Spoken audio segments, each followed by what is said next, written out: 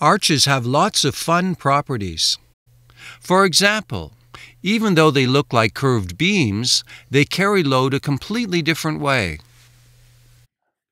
Beams carry load by bending, and this one cannot even support the weight of two wood blocks. This curved beam also works by bending, and despite being curved like an arch, it still cannot support the weight of two wood blocks.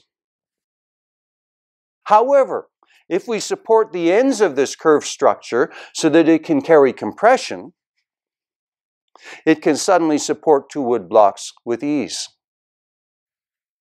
If the curve shape is cut into pieces, no meaningful bending is transferred from one block to the next. Instead, the blocks can only transfer compression to their neighbors.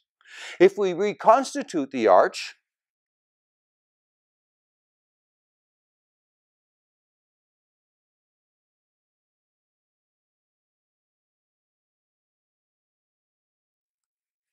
Only compression is transferred from one block to the next, and yet the arch is still able to carry two wood blocks.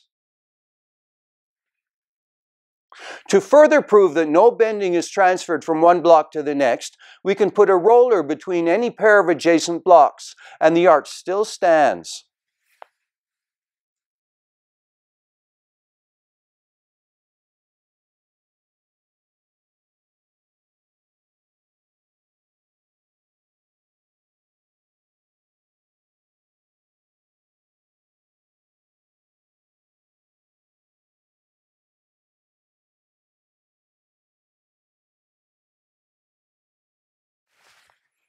Isn't that cool? To better understand how an arch gets its strength, consider a piece of cloth. It cannot even support itself. However, if we allow it to take a curved shape like this, it can carry a substantial amount of load.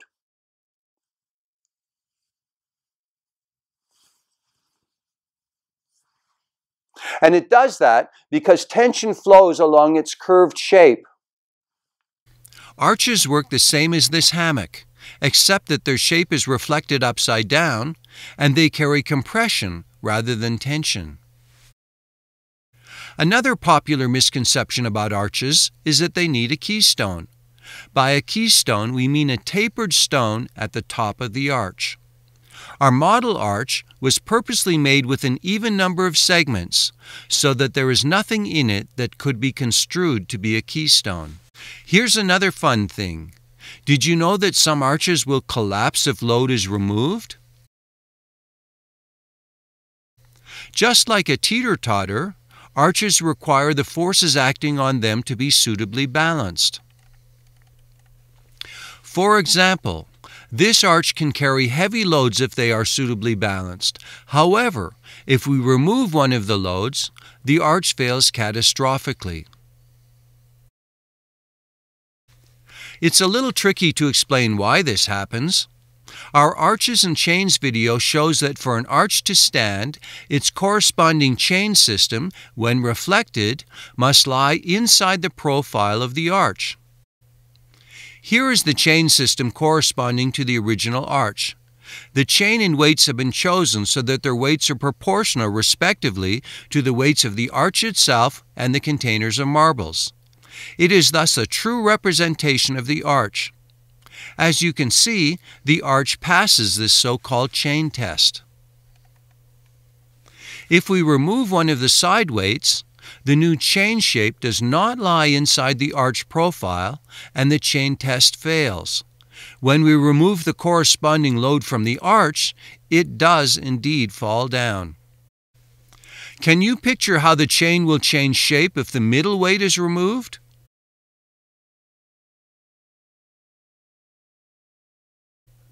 Will the arch stand or fall?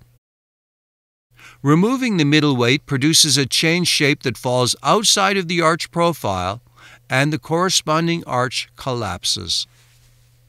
You might be curious how this arch from our other video can stand. It is easy to show that this arch passes the chain test, and that is why it stands. If we add weights proportional to the external load, the arch passes this modified chain test, and that is why it can still stand. And here's one last thing. Many people think that a semicircle is a good shape for an arch, and sometimes it can be.